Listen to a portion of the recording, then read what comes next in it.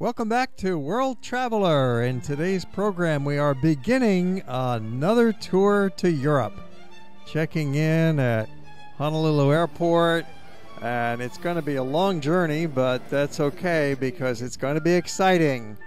Today, we are going to take you to the first city in our Central Europe tour, and that is Heidelberg in the southern part of Germany. It's really a quaint town, but first we got to get there. So we fly overnight and then overnight again to Europe, landing in Frankfurt. And there we pick up our baggage.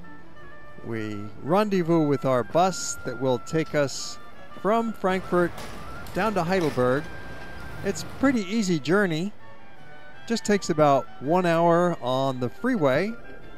And we are ready to go. Passing the Sheraton Hotel right at the airport in a couple of weeks, we're going to be back at the Frankfurt airport, staying overnight at that Sheraton Hotel. But for now, we're just beginning our journey through Central Europe. We'll be covering Munich, Salzburg, Vienna, Budapest, and Prague later in this journey. But for now, we're starting out in the beautiful city of Heidelberg. We get to the hotel pretty early and start out with breakfast. That was pretty convenient and we rest up a little bit and then head out and take a walk and see some sights. Heidelberg is one of the prettiest and best preserved towns in all of Germany, set in picture postcard perfection alongside the Neckar River with a classic castle towering above. Filled with old world charm, it's almost like a fantasy version of an ancient German town or something dreamed up by Disney but this is the real thing. Heidelberg's historic center of picturesque early 18th century buildings is about one mile long and four blocks wide. It's an ideal sized pedestrian zone to explore on foot.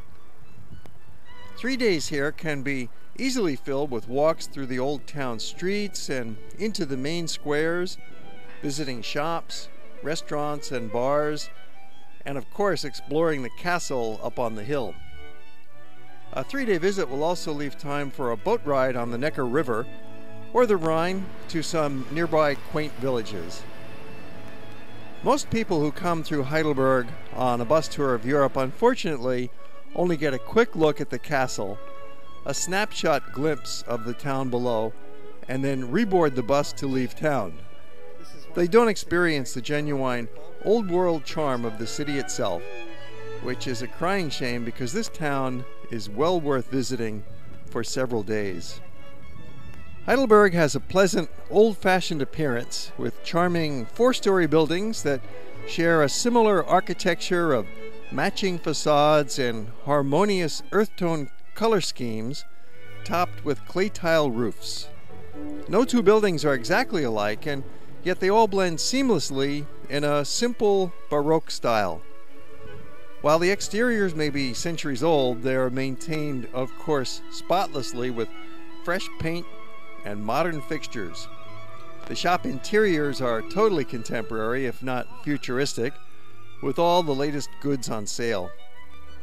Numerous restaurants will delight you with their gourmet fare and their tasty beer. This is the most significant historic city in Germany that was not damaged during World War II. Allied commanders earmarked Heidelberg to become their post war headquarters, so they deliberately avoided bombing this historic gem. Nearly all other significant German cities suffered severely from the fighting, so most of the nation's historic looking buildings in these towns are reconstructions. But in Heidelberg, these are the originals, completely undamaged. Ironically, the well preserved historic town center is actually a result of extensive war damage from much earlier times. Here we are just one block away from the main street and the main square, and yet it's already a very quiet atmosphere. It's mostly a pedestrian zone. Uh, the few cars allowed in here have special permits. They either live here or they work here. And now notice the buildings. Look around at all these buildings, and what you'll see is fairly kind of a uniform appearance in terms of height and styles of building. Uh, the facades are all uh, similar. There's no two that are exactly alike. There's no two that are identical, but you'll see the similarity. Now, how could this happen? What have we got here? How did this city develop in such a way that it's so harmonious? Hmm? Well, a strong zoning code has maintained it, certainly, in the modern age, that's for sure. Uh, right down to the color of the paint that you can use for the building. But the way it was created is quite an interesting tale. Uh, this happened, the roots of this city are Gothic. So medieval, Middle Ages, 12th century, 14th century. The street patterns were established in the, as you see today, at that time in the Middle Ages. But something happened in, uh, it was in um, 1689. The French came and invaded Germany. Louis XIV's armies came in. And in 1689, they destroyed Heidelberg completely. They, they leveled the city flattened it, and all the buildings were destroyed except for the Zum Ritter, where you had dinner last night, some of you. That's, that's the only Renaissance building left in town. Everything else is gone, just a pile of rubble. The castle was heavily destroyed. Uh, some of the buildings survived that attack, but you see the walls that are broken up there. So what happened then? They rebuilt the city in the early 1600s, all in a similar style, in the Baroque style. When you get into the early 17th century, this is the era of the Baroque. And what you see today is from that time period. So we're looking at structures that are 300 years old and all built up, like I say, around that same period and in this wonderful, harmonious way, and then not destroyed since then. World War II, as I mentioned, uh, there was treaties and special deals that saved the town of Heidelberg. So too bad that there was a destruction of the old Gothic town, but at least it resulted in this marvelous Baroque town being built in its place. And it goes for blocks and blocks. A fascinating tale that goes back a thousand years. Built from the 12th through the 16th century along a regular grid street pattern. The roads may have been laid down even earlier during the first century since the Romans established a permanent camp here and they were noted, of course, for their engineering skills in laying out rectangular city plans. One can actually glimpse much further back in time, all the way to the Stone Age, for the remains of the earliest known human culture in Europe were found here in 1907. A Homo erectus specimen dating about 550,000 years ago called the Heidelberg Man which suggests that people have been continuously living in this region for eons. It's believed that first settled village was started here in about the 5th century. One of the more significant historic events was the construction of the huge castle on the hill, begun in the early 14th century. 200 years later, the castle was greatly expanded in the Renaissance style firmly establishing Heidelberg as the center of government for a vast surrounding area. When completed, the castle was considered one of the most beautiful in Europe, and today it's the city's major visitor attraction. Germany's first university opened in Heidelberg in 1386, and it's still an important part of the town. Heidelberg grew peacefully until the 17th century when several major wars in Europe broke out between Catholics and Protestants, complicated by foreign invasions, including brief control by Sweden in 1633 through 34. Well, Heidelberg survived all of that until a massive invasion by the French in 1688, led by Louis XIV he claimed control over this vast region in his ongoing campaign to expand the borders of France. The entire old town was flattened at that time, and the castle was partly destroyed by French cannon bombardment. Survivors rebuilt the city in the early 18th century, with all of the new homes constructed in a similar style, a simple version of the German Baroque. Most of the buildings that we see today are from that narrow time period, so we're looking at structures that are about 300 years old, yet built up simultaneously in a remarkably harmonious way. Miraculously, there has been no further damage from warfare, fire, or natural calamity. Modern developments have been kept away from this old part of town thanks to enlightened planning and a strict zoning code which limits the kinds of construction that can take place here. Today, the old town is about 20 blocks long, stretched out in a picturesque way along the Neckar River, so there are ample nooks and crannies to keep you busy exploring for a couple of days. Most of this area is a pedestrian zone. It's the longest in Germany when it was established in 1978. They claim this was the first major pedestrian zone in Europe. So you can really enjoy a relaxed strolling without any cars or trucks getting in your way. The main lane is the Hauptstrasse, which extends the entire length of the old town and is lined with shops and restaurants, bars, and cafes throughout its entire length. This is one of Europe's greatest streets for walking and will be your main focus of activity, along with the castle. So start out your first day with a walking tour in the old town. Perhaps right in the main square. Get an early start with a walk in the Marktplatz, the main square, and the little alleys around this peaceful spot. The shops are just opening at 9 o'clock, so this is a fine time to be out strolling as you watch the day begin and the city come to life. Standing in the middle of the Marktplatz gives you a fine perspective on the heart of town with the Holy Ghost Church, the Heiliggeistkirche, on one side and the old City Hall on the other. This Gothic church was built in the early 15th century with the pretty red sandstone that's so typical of Heidelberg construction. You can climb the church tower for a small fee. It's really not that difficult to climb to get up to the top of the church tower, you go up a series of staircases, so it's real easy, just like a normal staircase, and really it just takes five or ten minutes. It's not a strain at all, and you can stop and rest along the way as you're climbing up if you need to. Well, you arrive at the top at the platform, and you're able to walk all the way around the platform and get views looking out in all directions from the top of the Holy Ghost Church. Wonderful view of the river down below and the bridge, and of course, all of the clay tile rooftops of the city. They are picturesque beyond your imagination. This is really as good as it gets in looking into an old town.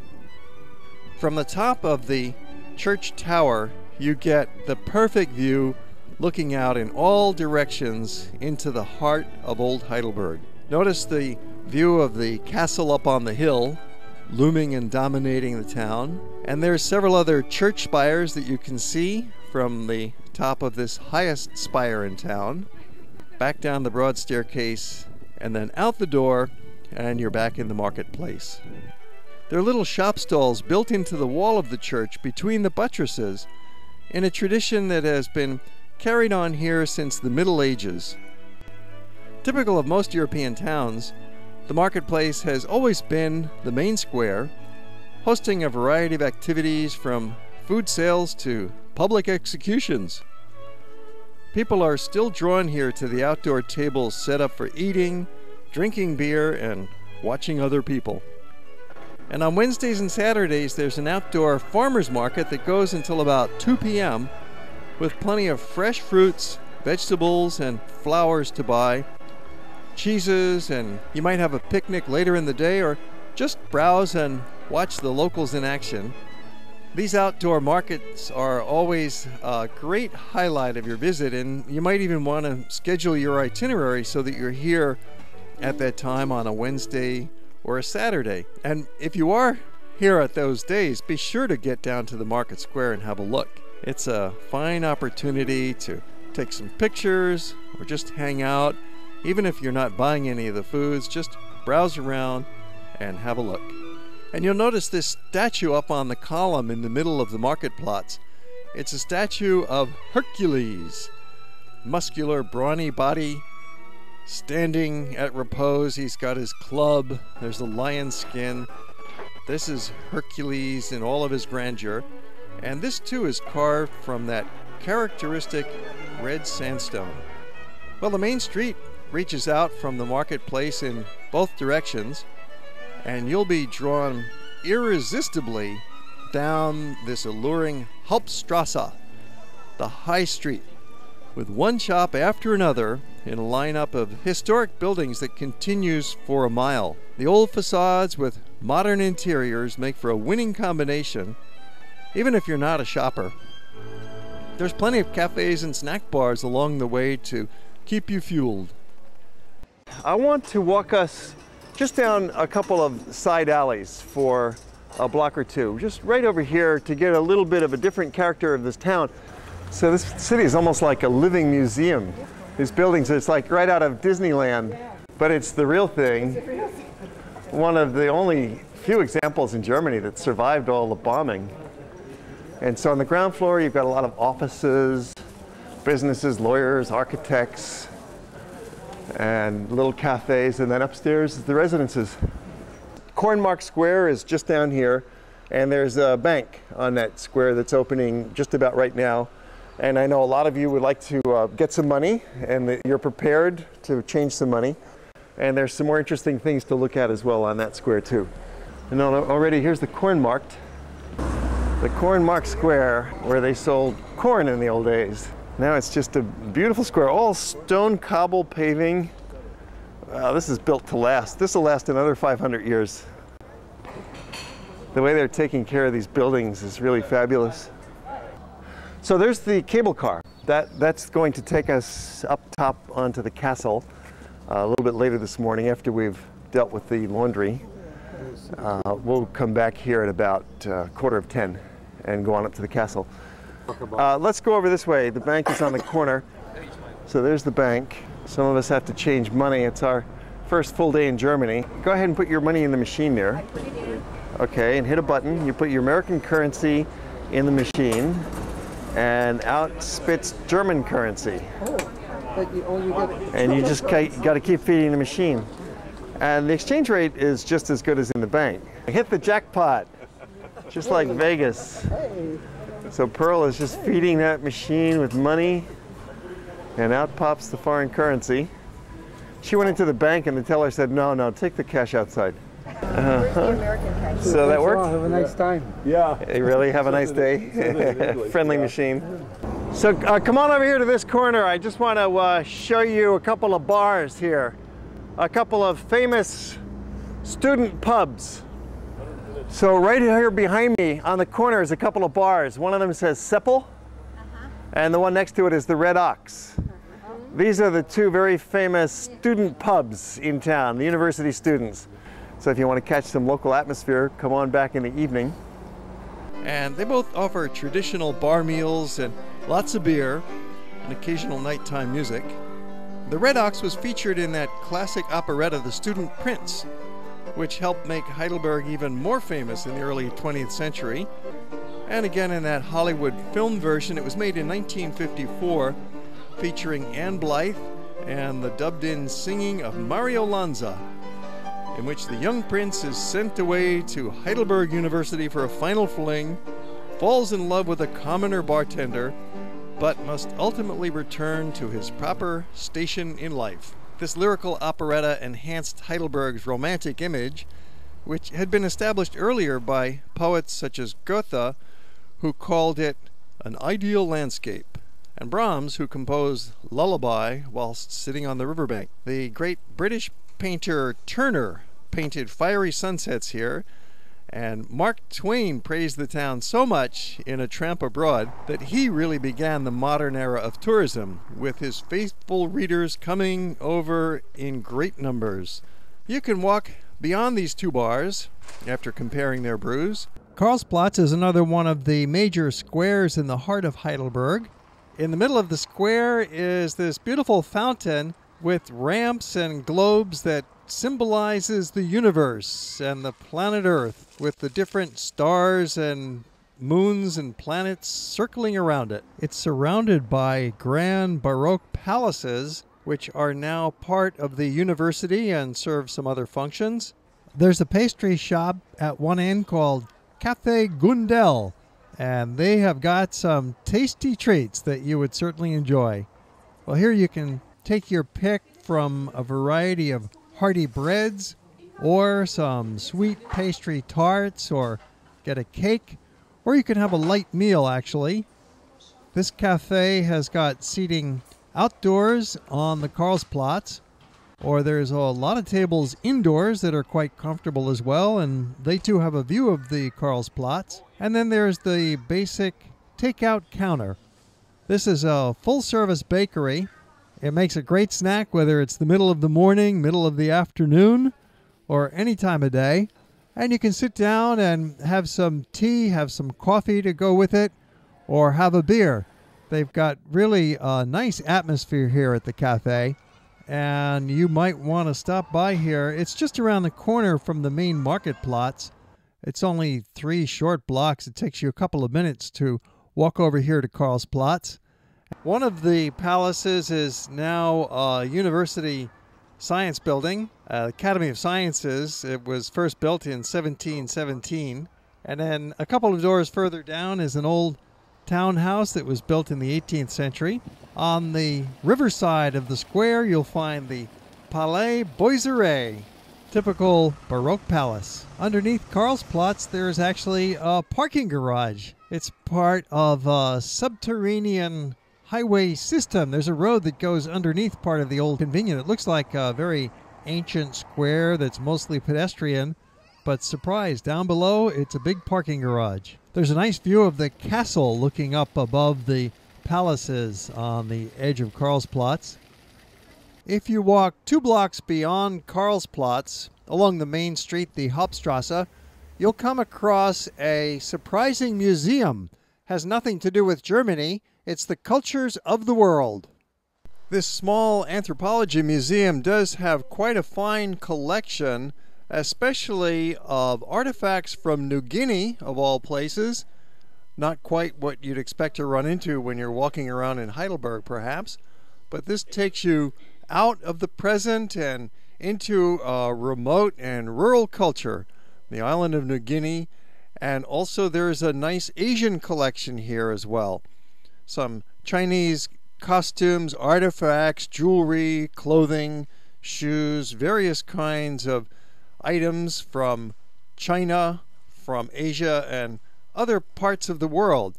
So when you're walking through Heidelberg and looking for a change of pace, something different, well, come on down to the Anthropology Museum at the end of town and enjoy your visit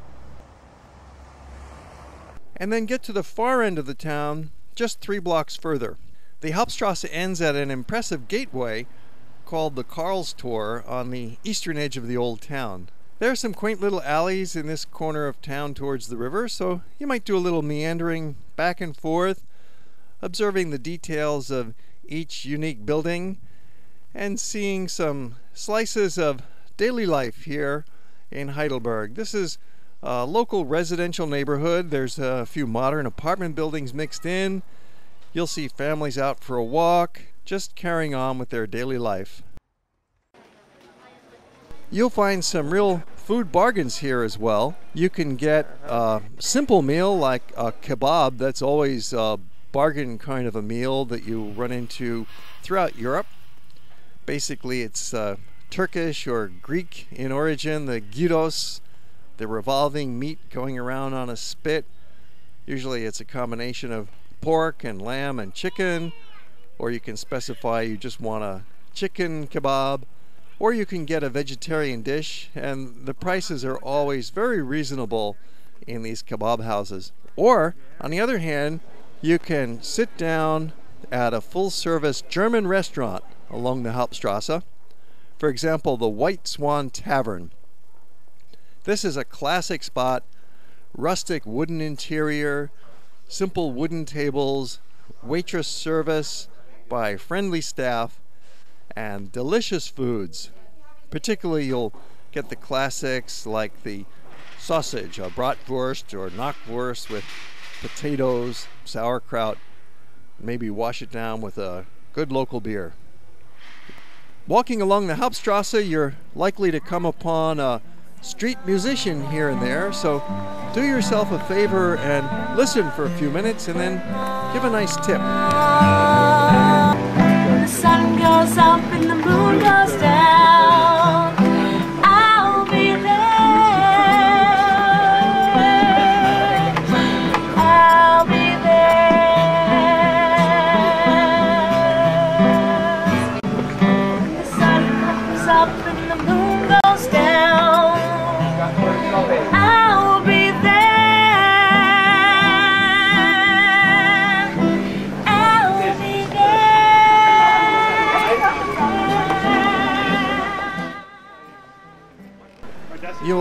Run into sidewalk artists engaged in creating some original oil paintings, perhaps, or watercolors, perhaps modern interpretations, contemporary art. You'll find vendors selling all kinds of little knickknacks and doodads.